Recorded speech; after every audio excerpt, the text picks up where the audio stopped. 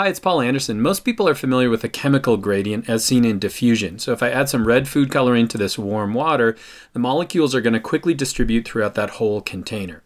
What's going on at the molecular level? Well, those red food coloring molecules have a certain amount of kinetic energy. They're bouncing off of each other due to Brownian motion, and they're going to move along their chemical gradient or their concentration gradient from an area of high concentration to an area of low concentration. This is how diffusion works. This is how oxygen gets into your cells and carbon dioxide gets out, and it's real visual. We can see what's going on. But this is only one half of a more complex gradient called the electrochemical gradient.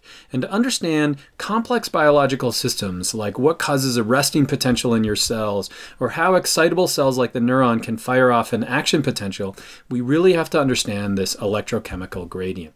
What's going on? Let's start with a simulation. This is a PHET simulation. I'll put a link in the description down below. What we've got is some green food coloring on the bottom and we're going to put it in motion. There's 50 molecules on the bottom.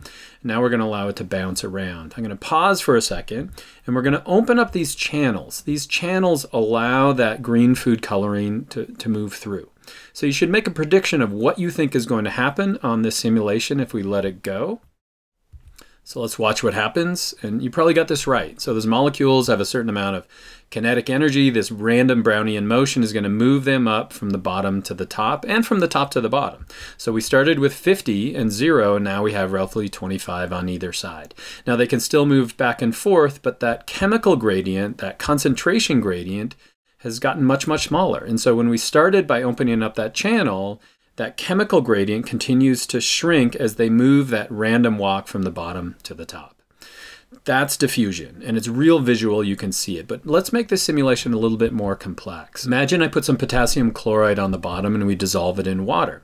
So again, this is an ionic compound. It's breaking apart into its ions. We've got the potassium ions, which have a positive charge, and the chloride ions, which have a negative charge and I put 50 of each on the bottom. We start them moving. And now I'm going to open up some channels that only allow potassium to move through. So the only thing that can move through here is going to be the potassium ions. The chloride ions can't move through. Again, we're putting 50 of each on the bottom. So predict what you think is going to happen if we let this run for a while. Hopefully you've made a prediction and let's see what happens. So this is probably what you thought was going to happen. We're getting some of that potassium to go through. And so you probably got half of this problem right. So there are 50 chloride on the bottom, zero on the top because the chloride can't come through. But it's not 25 and 25 when it comes to the potassium ions. It's more like 37 to 13. So it's almost like there's a magical force that's pushing them in the other direction from the top to the bottom and that is the electrical gradient. And, and it's counteracting that chemical gradient. And it's the combination of those two that is the electrochemical gradient. Let's zoom into that membrane and I'll show you what's going on.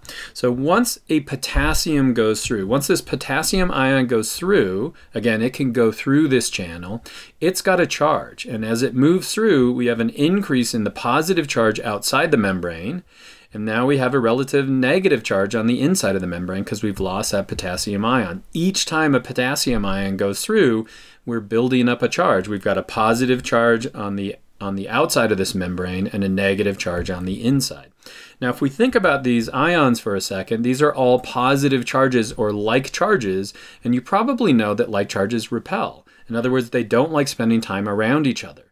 And so there's going to be a force that's pushing them in the other direction. And also, since they have a positive charge, they're going to be attracted to the relative negative charge that's on the bottom. And so what happens over time is we have a balance now of the chemical gradient that's pushing it in the from the bottom to the top, this potassium, and then we have this electric gradient that's moving it in the other direction. The combination of those two is an electrochemical gradient. And it's reached a equilibrium or a potential. We could put use a voltmeter and we could we could measure the charge on either side of that. And since we have a separation of the charge, now we've got a potential, now we've got a voltage that we could actually measure.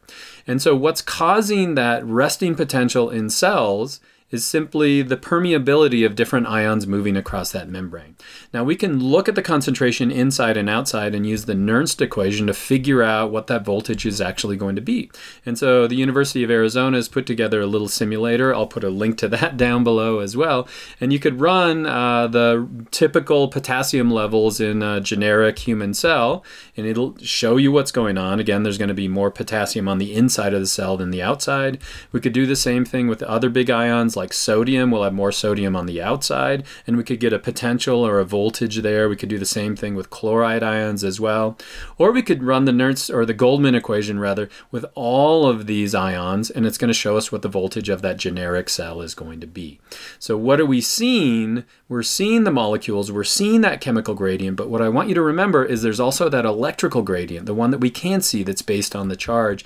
And to really understand complex biological systems, you have to understand both parts of that gradient. That's electrochemical gradient, and I hope that was helpful.